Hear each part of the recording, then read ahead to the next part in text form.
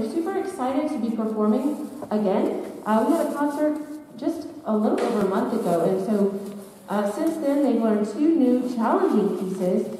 Um, and then just like last week, we decided remember that piece we learned back in the fall when like things were so crazy? It's called To Tame the Raging Rapids, which is how it felt in the fall. We were trying to tame some cr- the craziness of school during COVID and whatnot. Um, so that'll be the first piece that we play today. Uh, we actually are bringing that back out and and playing that tonight for you. Um, you may have heard our performance recording back in the fall, but we wanted to give you the live version of it. So uh, we'll be playing that, and then Libertango and La La Land. We have some special guest artists like Mr. Davis back on drum set back there. He'll be joining us in a little bit, and um, we have some soloists, and then we will have our awesome student teacher, Ms. Castro, uh, conducting tonight as well because it's her last night, uh, her last day with student teaching. So we've had a wonderful semester together, and um, we, we will be very sad to see her go, but she has many exciting things ahead of her, like graduating from college. So, um, so with that being said, uh, we know that tonight, today is May the 4th, and we know what that means, so we could not possibly give you a, a performance, a concert on May the 4th without a little bit of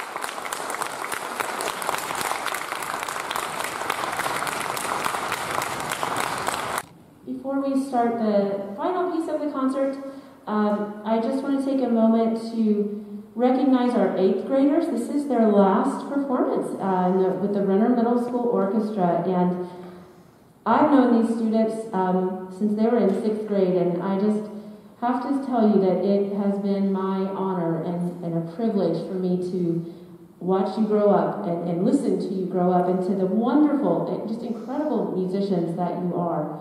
And um, I just hope in, in some way that music will always be an important part of your life.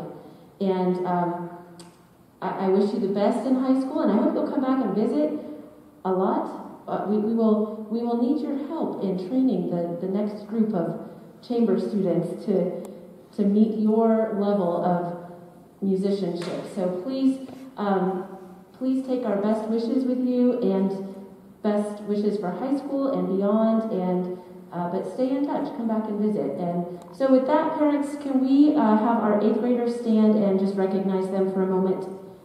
Yeah. Yeah, what's going to happen next year? This performance is really not that good.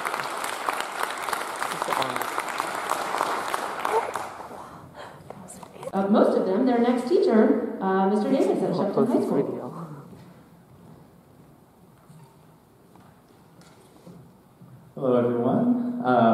It's good to see you all again in, in, such a short amount of time, really. I mean, it, it was just over a month uh, at the last concert that they got to have, and they just really worked hard to put together a new program, and that's just it's it's spectacular under normal circumstances to put together a concert in just over a month, but under the circumstances that we're in, it's just that much more astounding and just awesome. Um, and that really speaks to the level of dedication that these students have on stage and the uh, the support that they have at home from you. So thank you so much for pushing them and helping them to get through this difficult time uh, helping them to get through the difficult time of middle school. And uh, I'm looking forward to seeing so many of them up at Shepton um, and I'm just really excited for the future. So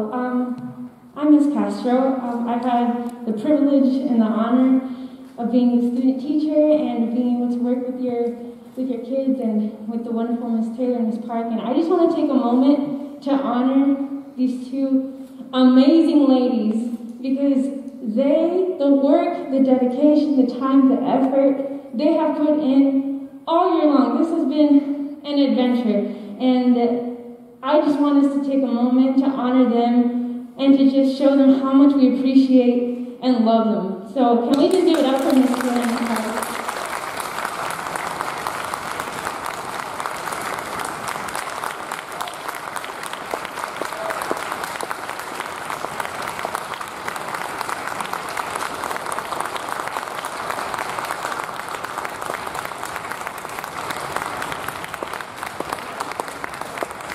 Oh, Thank you.